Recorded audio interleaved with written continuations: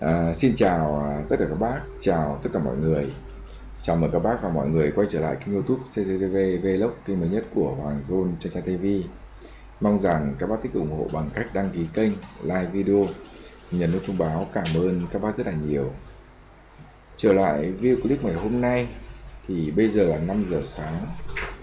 Tôi xin chia sẻ với các bác thế này. 5 giờ sáng là cái khoảng thời gian mà chúng ta cùng nhau suy nghĩ, cùng nhau tĩnh tâm nhưng mà tôi không biết có làm phá vỡ một cái buổi sáng của các bác hay không. Khi mà thật sự CEO Phương Hằng với cả Minh Tuệ, tôi tưởng là kết thúc rồi. Thế nhưng mà ngày ngày hôm qua, tối qua, tối muộn qua, thì à, tôi mới nhận được một cái clip. Và thật sự mình không thể chấp nhận nổi một cái phát ngôn của CEO Phương Hằng khi mà đã đã đã gọi sư Minh Tuệ bằng một cái từ rất là mình phải dùng từ rất là khốn nạn và rất là mất dạy. Đó là thằng thằng tuệ. À, để mà cho các bác có thể hiểu thì ngày hôm qua là ngày mùng 1 thì uh, ngày mùng 1 tháng 11 thì uh, sư Minh Tuệ đã xuất hiện trở lại và nhận được cái sự kính ngưỡng của rất nhiều người dân. Rất nhiều người đã khóc rất nhiều người đã đã đã có thể nói rằng là mong chờ ước ao được gặp sư Minh Tuệ. Họ đã không quản ngại đường xa sức khỏe sự vất vả để đến với sư minh tuệ để được hành lễ. Sư minh tuệ ngày hôm qua thì không nói một lời nào, cũng chỉ đi khất thực và chia sẻ với mọi người thôi. Thế nhưng mà không hiểu cái điều này đã tạo ra một cái sự đố kỵ đối với siêu phương hằng hay không. Mà chị đã lên một cái thứ tiếng ờ, mình không biết dùng có thể là thứ tiếng người hay không. Trong clip này thì tôi chia sẻ với các bác là hai đoạn clip để các bác có thể nhìn thấy cái hình ảnh của sư minh tuệ đầu tiên thì có lẽ là các bác xem lại cái hình ảnh của sư minh tuệ xuất hiện ngày hôm qua trước đã. Trước khi nghe những lời cay nghiệt của siêu phương hằng dành cho sư minh tuệ.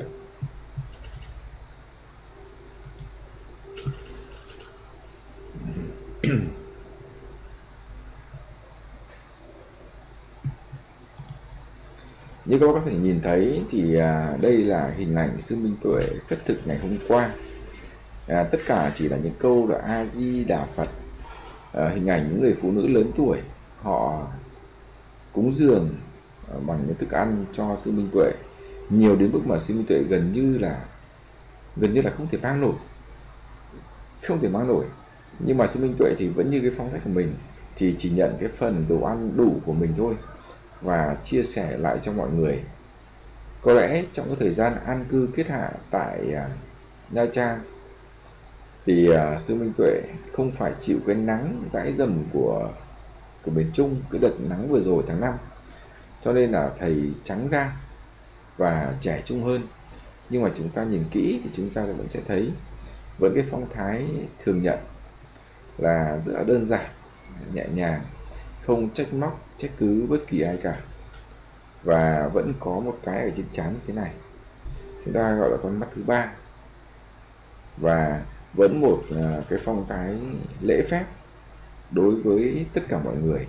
Thì đấy là cái mà chúng ta thể thấy rằng là về uh, sư minh tuệ đó là cái đoạn clip ngắn gọn ngày hôm qua.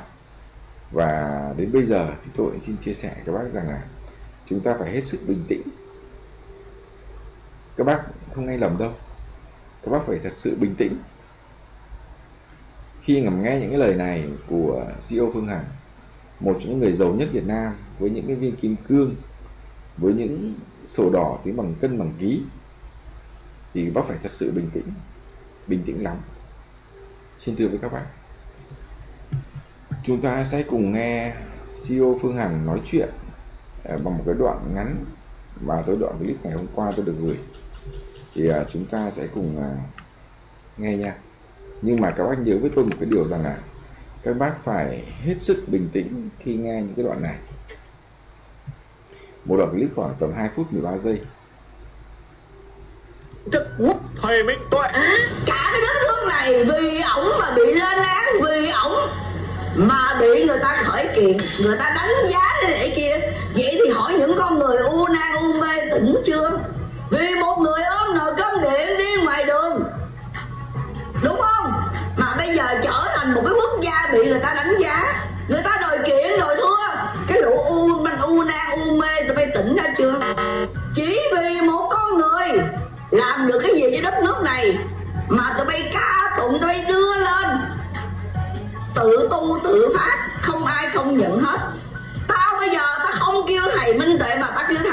tuệ ai làm gì tao bởi vì sao? Chính nó đã tạo ra những hiệu ứng.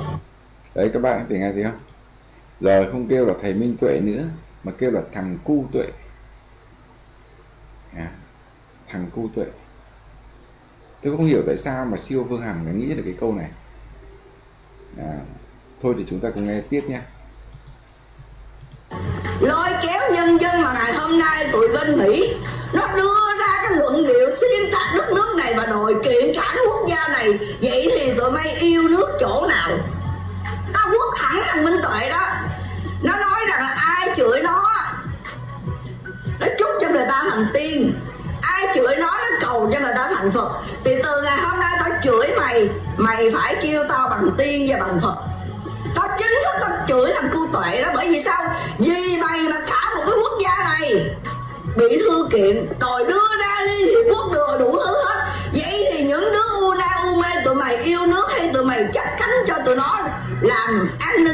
xã hội mỗi ngày mỗi rối ren.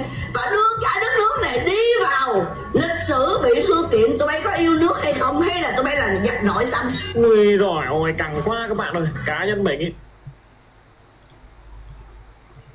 Các bạn có thể nghe lại nhé cả cái đất nước này vì ổng mà bị lên án vì ổng mà bị người ta khởi kiện người ta đánh giá thế này kia vậy thì hỏi những con người u nan u mê tỉnh chưa? Vì một người ôm nồi cơm điện đi ngoài đường. Đúng không? Mà bây giờ trở thành một cái quốc gia bị người ta đánh giá.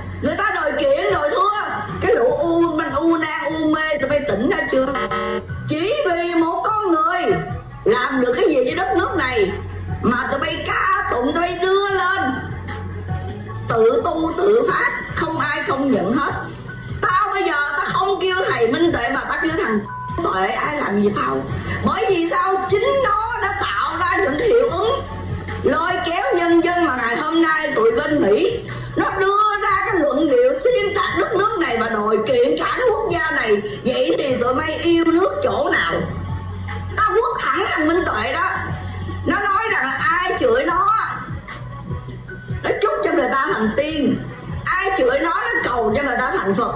Thì từ ngày hôm nay tao chửi mày mày phải kêu tao bằng tiên và bằng phật.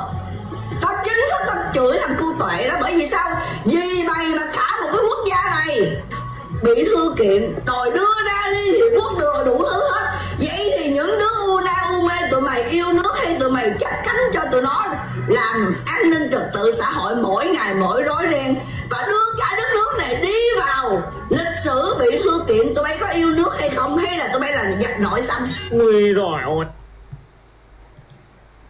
Như các bác có thể à, nhìn thấy đây là những cái lời lẽ rất là cay nghiệt mà CEO Phương Hằng dành cho sư Minh Tuệ. À, vào buổi sáng thì thật sự là tôi cũng không muốn chia sẻ những cái dòng này à, những cái lời lẽ này đối với các bác và mọi người đâu. À, tuy nhiên mình có thể là mình suy nghĩ nào kia nhưng mình không thể không lên tiếng được, bởi vì nghề nghiệp của mình là nghề nghiệp làm truyền thông và cố gắng lan tỏa những cái điều gì tốt đẹp đến với tất cả mọi người. Vẫn cái luận điệu quen thuộc, vẫn cho rằng là sư minh tuệ, lỗi tại sư minh tuệ, cho nên rằng là thế giới ngoài kia nó làm cái gì đó vân vân đó kia. Đấy là việc của an ninh, không phải việc của chúng ta. Sư minh tuệ thì à, vẫn cứ làm cái công việc của mình, đó là đi à, khất thực tu dưỡng những cái điều đức phật đã dạy. Có người ta từ à, thuở xa xưa à, một cái điều mà không phải ai cũng làm được. Giữ gìn trọn vẹn 250 giới luật. Tu trọn vẹn 13 hạnh đầu đà đó là điều không phải ai cũng làm được. Và chắc chắn những cái người như siêu phương hằng thì không thể làm được cái điều này. À, sư minh tuệ thì vẫn cứ dùng cái đức hạnh của mình vẫn cứ nhẹ nhàng. Việc của ngoài kia là việc của an ninh không phải việc của sức minh tuệ. Ờ, à, sức minh tuệ không liên quan gì đến đảng phái không liên quan gì tới chính trị không liên quan gì tới nọ kia cho nên đừng đổ lỗi tại sức minh tuệ. Tất cả những người đi theo sức minh tuệ cũng vậy. À, tôi chưa bao giờ tôi nghe thấy một người nào đó đổ lỗi rằng là tại chính quyền hay tại thế nọ vân vân. Nếu như có một cái sự nào đấy thì có lẽ chính quyền tự trách mình. Chứ còn sư minh tuệ đâu có làm gì sai. Đâu có rời khỏi đất nước Việt Nam vẫn tự do đi lại vẫn theo những cái điều hiến pháp đã dạy đã làm. Vậy tại sao lại phải trách? Đúng không? Cho nên ấy,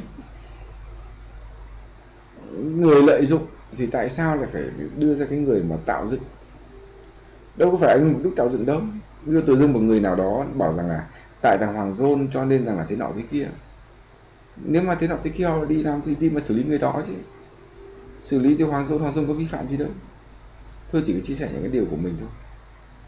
Buổi sáng thì các bác có thể thấy à, lời lẽ cay nghiệt của của Siết Phương Hằng tôi cũng không muốn bình luận gì bởi vì là tôi muốn dành cái lời bình luận dành cho các bác. À, chúng ta có hai thái cực. Một người im lặng không nói gì cười hiền từ và đi khất thực không sở hữu tài sản. Một người thì kim cương cả rổ tính bằng ký bằng cân. À, có thể nói sổ đỏ thì tính bằng gọi cân bằng ký. Một người mà tiền rất là nhiều. Đó một người thì đi tù tại thứ 30 một người thì đi nghĩa vụ quân sự là 3 năm. Vậy thì các bác tự so sánh. Đúng không? tự so sánh đôi điều chia sẻ với bác mọi người. Cảm ơn uh, tất cả các bác. Cho tôi xin lỗi các bác về buổi sáng đã làm mất cái thời gian để các bác để có một cái cảm xúc nó không được tốt. Cảm ơn các bác rất là nhiều.